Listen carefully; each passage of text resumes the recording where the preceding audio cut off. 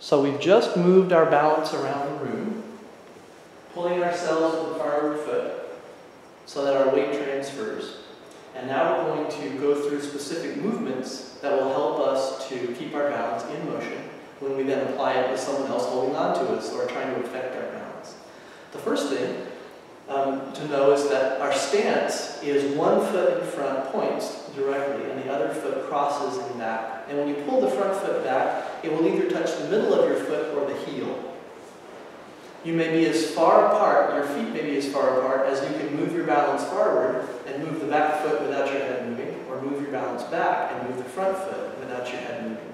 So the job is to get as wide as you can without being too wide so that you can't control your movement and balance. And then your hands will mirror your feet. This is all from Aikido. Now put all your weight in the back, and then open and close your front hip without affecting your balance. Close the front hip and leave it closed. Take your knee over your toe to transition your balance, and open the back hip, and you'll have pivoted. So all your weight is in the back foot. Close the front, shift your weight, open the back hip, and now it's your new front hip. And You've pivoted. Pivot. Pivot. And if you do this in motion, you make a kind of entering we're going to call irimi in uh, Japanese, so entering. You're going to do the pivot while moving forward. So you're going to pull yourself into a new position. Irimi again.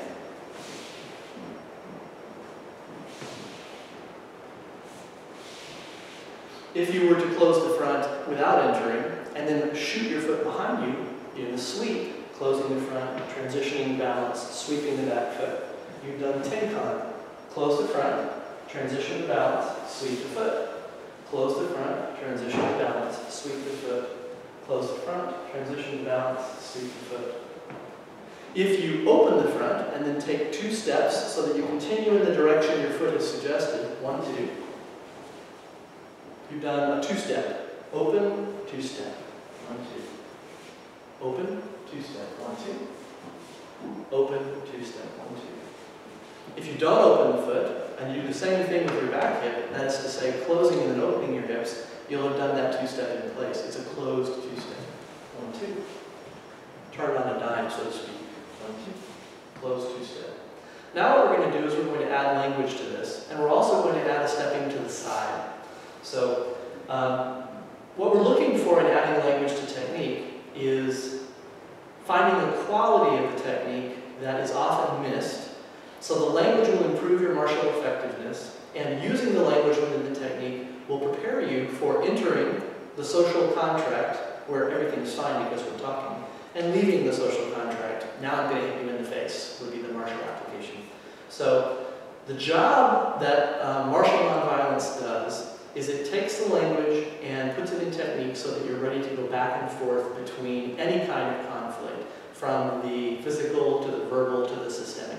And this is a physical exercise, a ritual of sorts that gets you in the habit of thinking that way with your whole system. So here we are. As I'm standing, I'll say, I am here. You say it. I'm here. I'm here. So we're going to go from side to side, but with our feet very, very close to each other. So we're just basically switching which foot is forward by moving our balance, closing the hip, shifting the weight, opening the hip, and moving our balance again. And each time we will say, I am here. I am here. I'm here. I am here. I'm here. I am here. I am here. Now, we're going to actually step to the side and pull ourselves sideways, doing a side step. And what it looks like is you're getting out of the way of someone coming at you. And what we'll say, predictably enough, is, excuse me. So the weight goes forward, you reach the foot, you pull yourself, you transition, and you say, excuse me. Excuse me. Excuse me. Excuse me. Excuse me. Now we'll do it to the front so you can actually see what it looks like from this side. Excuse me. Excuse me. There's room to go past. Excuse me. Excuse me.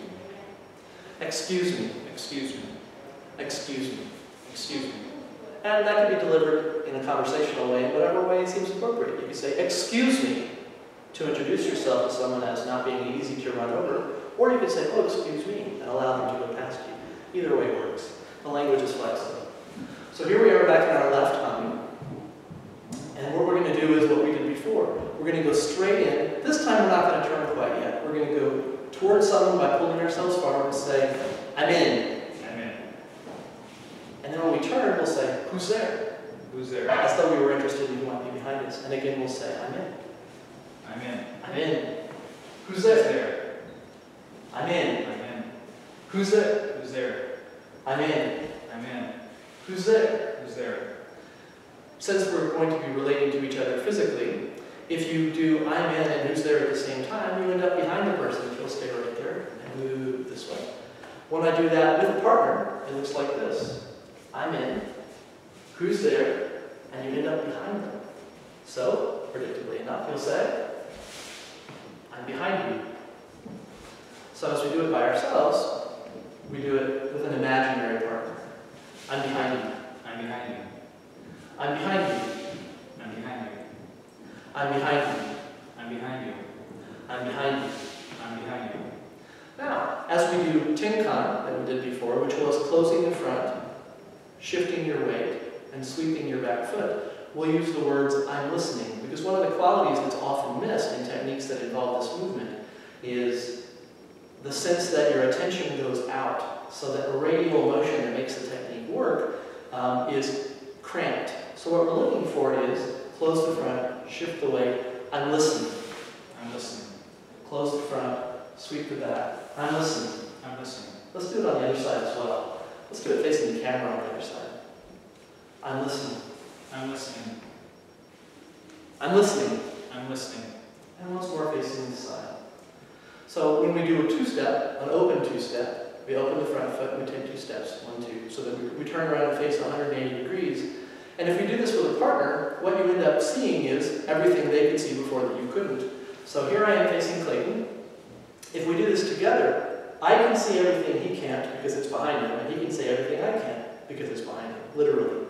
And what we'll do is encourage our metaphorical understanding of the other person's position by literally switching places. We'll step our back foot and end up facing each other. Now he can see everything I can see and vice versa.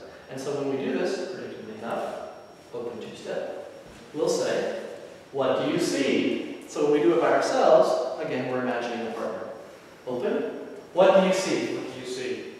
Open, what do you see? What do you see? Open, what do you see? What do you see? And again, what do you see? When someone says, what do you see? If you don't know what they're talking about, the turning on a dime two-step is where? Where? And one more time, where? Where? So altogether, they are, I am here. I'm here. Excuse me, Excuse me. I'm in. I'm in. Who's there? Who's there? I'm behind you. I'm behind you. I'm listening. I'm listening. What do you see? Do you see? Where? Where? And you've gone through a sequence of movements that engages your language with your mind, with your body, with your environment, so that your attention goes out, your breathing continues, and you move yourself in one vertical line of balance. That's the basic exercises of Tai Sabaki that we use, and then we apply them in Aikido techniques as physical self-defense, and we apply them conceptually in martial nonviolence as conversation starters, ways of thinking about a conversation that bring out what everybody needs and allows you to use your attention to help them get that, which is what takes the cycle of conflict and deconstructs it. Thank you for your time.